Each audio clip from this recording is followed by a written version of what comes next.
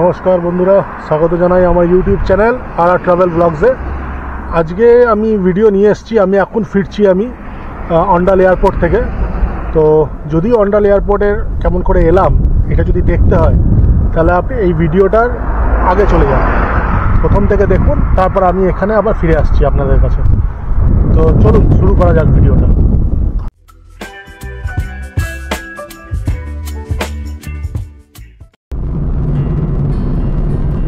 নমস্কার বন্ধুরা, স্বাগত জানাই আমার ইউটিউব চ্যানেল আর আর ট্রাভেল ব্লগসে আজকে অন্ডাল এয়ারপোর্ট যাচ্ছি আসানসোল থেকে। রুটটা ছোট্ট করে বলব। এখন যেমন জুবলি পেরোচ্ছি জুবলি পেরোবো, তারপর অন্ডালের দিকে আমরা রওনা দেবো। অন্ডাল এয়ারপোর্ট আপনারা অনেকেই গেছেন, তাও রুটটা ছোট্ট করে বলে বলে রাখব। যদি কেউ না গিয়ে থাকেন, তাহলে এদের দেখলে হয়তো তাদের সুবিধা হবে। ডিটেলসও বলব অন্ডাল এয়ারপোর্টের বিষয়ে। কাল্লা বাইপাসের সিগন্যাল বেরোচ্ছি। দেখছেন কত ট্র্যাকের জ্যাম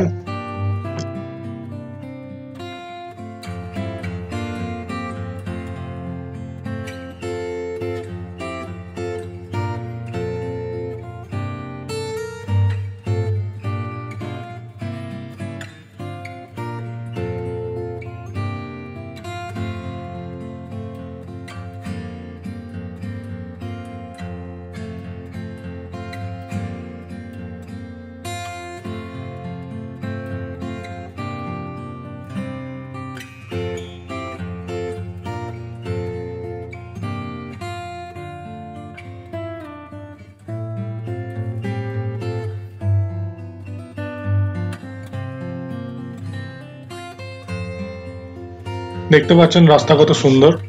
ফোর লেন হাইওয়ে আছে, পাঁচ কিলোমিটার পড়ছে আপনার অন্ডাল মোড় থেকে এয়ারপোর্ট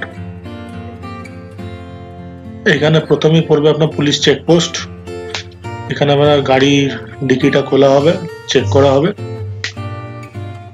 যেমন এই আগের গাড়িটা খোলা হলো।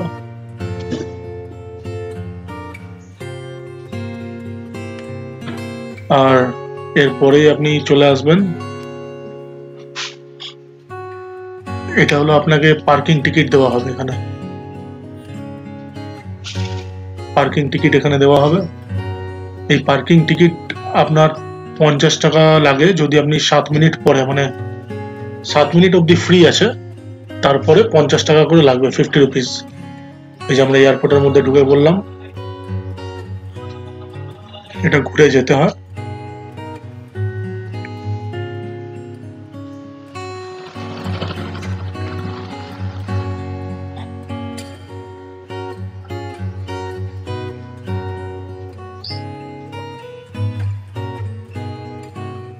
এটা হলো এয়ারপোর্টের মেন ড্রপিং পয়েন্ট বা পিকিং পয়েন্ট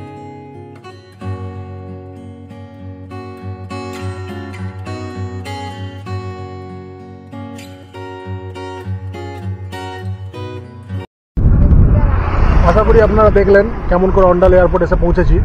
তো অন্ডাল এয়ারপোর্টটাও আপনাদেরকে আমি দেখালাম।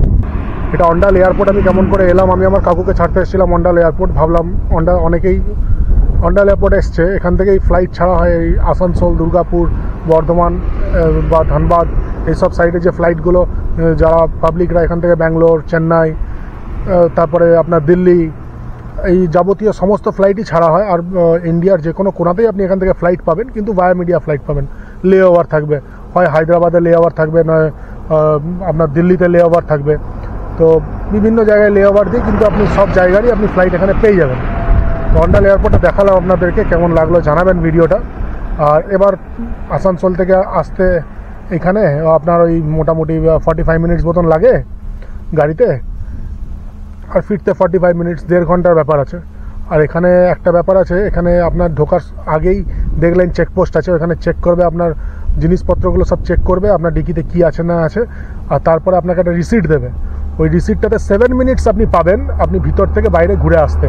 তাহলে তাহলে আপনার ফিফটি রুপিসটা বেঁচে যাবে। আর যদি সেভেন মিনিটস পেরিয়ে যায়, তাহলে আপনার ফিফটি রুপিস আপনার লেগে যাবে পার্কিং তো যদি আপনি ভাবুন কাউকে নিতে এসছেন এখানে, আপনি তখন কি করবেন? তখন ফিফটি রুপিস আপনাকে পে করতেই হবে। আপনি ভিতরে ঢুকে যাবেন। ভিতরে ঢুকে হয়তো আধ ঘণ্টা আপনাকে দাঁড়াতে হতে পারে গাড়ি নিয়ে।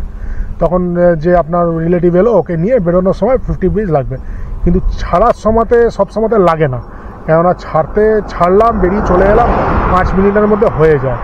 ঠিক আছে ফিফটি রুপিসটা ওইখানে লাগে না। কিন্তু কাউকে নিতে আসলে হয়তো লাগতে পারে। তো চলুন, এবার আমরা রিটার্ন করি আসানসোল। সেই ছোট্ট করে একটু ক্লিপ করে দিই। কেমন করে অন্ডাল থেকে আসানসোল যাব। যাওয়া তো প্লেন রোড আছে ফ্রম অ্যাকচুয়ালি এটা অন্ডাল এয়ারপোর্ট বলে, কিন্তু নয় এটা। এটার নাম হলো কাজী নজরুল ইসলাম এয়ারপোর্ট এটা দুর্গাপুরের আন্ডারে পড়ছে এটা। অন্ডাল আমরা আগে পেরিয়ে এসেছি। অন্ডাল থেকে প্রায় এই এয়ারপোর্টটা যেটা ঢুকছে হাইওয়ে থেকে, ওই মুখটা এখানে প্রায় দু কিলোমিটার আর ভিতরে ফাইভ কিলোমিটার। ওই মোড় থেকে আপনার up to Andal airport five kilometre. তো সেই জন্য এটা অন্ডাল এয়ারপোর্টই সবাই বলে, কিন্তু নাম এটা অ্যাকচুয়ালি কাজী নজরুল ইসলাম এয়ারপোর্ট চলুন, ভিডিওটা আগে নিয়ে যাওয়া যাক।